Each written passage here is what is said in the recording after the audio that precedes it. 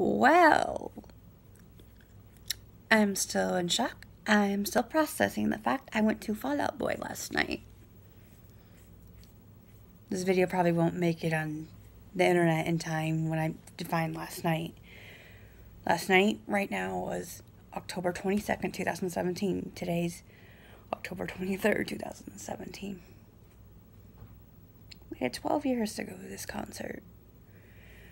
Got floor seats. My friend Jamie was pretty good and she got floor seats. they did not disappoint. The stage is like a long stage for the Mania tour. And I wish Pete Wentz came more closer to where I was, but came halfway maybe. But Patrick, when he went by, like, I about died. Patrick's cute. He's cuter in person. This felt like a dream when Joe came by a couple of times. Then, if you've been to the Mania tour or you've seen pictures or heard about it or anything, you know, on the other side of the stage, the there's probably a tunnel to the stage because they uh, were raised up on these platforms on the other side of the stage so people who had shitty seats got a good view. And I'm at the other end of the stage, close enough, and uh, at one point, I was probably screaming loud enough for the drummer, Andy, to hear me, and he looked my way and smiled at a bunch of us, and I about died there. I'm like, oh my gosh. so it was pretty cool. I mean, like, I'm just still processing it all, but waiting 12 years to see these guys was worth the wait. I just wish the show was longer. I didn't really care so much for Jaden Smith or Blackbear. I would I missed Jaden Smith because I was in the merchandise line. Nothing against them. I'm just that's not my type of music. I liked Blackbear's energy and how kind he was to this girl because she handed him her shoe. He's like, "You want to mommy sign this baby?" And she goes, "Yes." So, but overall, the concert didn't disappoint. Like it's rare if Fall Out Boy doesn't that they sound bad. I mean, I've one time that I've heard them sing live is on Ellen, and it was alone together. They didn't sound so great, but it wasn't them necessarily. It was something to do with the sound stage or whatever. But hopefully next year, next time they go on tour, excuse me, I'm still kind of tired of going. They'll do meet and great, so I can tell them then how much they mean to me. And these guys have literally saved my life. I've been a fan since I was 14. I know they've been around longer, but each time I tried to take my life as a teenager, their music was there to build me back up. So, excuse me. So it means a lot to me, and because of them, I'm a mother. I'm still here. I have the opportunity to be a mother to my three year old Andrew. That little boy is the world to me. I don't know if they'll ever see this message or see this video, but it's worth a shot. I mean, like, there's been a couple people who, when FalloutBoyRock.com had these boards where you can talk about the band or talk about the music, a couple girls remembered me and they're like, thanks for sticking up for everybody. I think the boards, I don't know why the boards got taken down.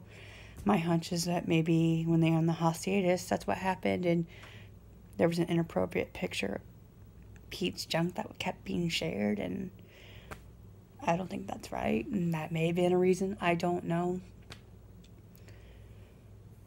But people who know me and know of me know I'm a huge fan. I mean, like, here's an example. Um, I had a lot of help with this painting, but I did some of it myself. I don't know if you can see that. It's a Fall Out Boy one. I did some of that. I had a lot of help, but it, you know, that was the Infinity on High era. But how I originally got hooked on them was, uh, oh, excuse me. I was a sophomore in high school, and uh, I'm like, where is everybody? Because not very many people were at school. And uh, someone says, well, they've all gone to a Fall Out Boy concert. I'm like, who's Fall Out Boy? Later on, not too after that, long after that, I heard Sugar were going down swinging, and that was probably their single at the time. And ever since then, I was hooked. So, don't know. And I, my friend Jamie and I traveled. We live in Iowa, three hours to St. Paul, Minnesota.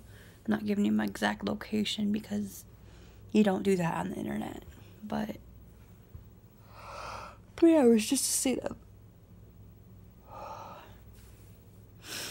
Hopefully, next time they come to Des Moines again. So, if that's the case, you know, it's like an, it's a hour and a half drive instead of a three hour, depending what route you take.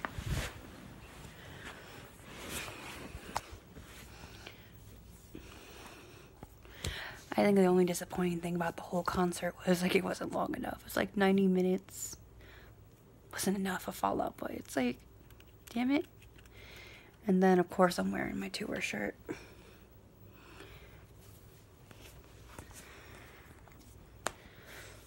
And I felt like really excited to be around all these other people who were just as big as fans as I was. I it's rare to meet people who are a big fan like I am. I'm so sorry. I'm yawning a lot in this video. I'm just so tired. So to be around a lot of people who felt the same amount of love for this band as I did was amazing. there was no mosh pit. Otherwise, I would have been in it and I probably would have got hurt. but also, something really cool happened at the concert. This little girl, I didn't know what the sign said. I just, all I heard was right on, I don't care. I didn't find out till this morning what it said.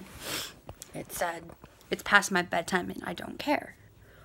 Well, Pete saw it and, and security wouldn't let her have it. He's like, I love your sign. I'll trade you, I think it was like t shirts and a couple guitar picks for it and that was really kind of Pete. Like, like that's one of the reasons I like these guys so much. They're so kind. They're down to earth. They're smart asses. And Jamie and I are talking in the car like Joe and Andy are probably the least appreciated band members because people tend to like Patrick or Pete. Each, all of all four of them are important to me. Actually, my favorite band member is the drummer. Probably because I can relate to him a lot because I'm not I may not be vegan like he is, but he loves animals just as much as I do. And he's badass for all these tattoos.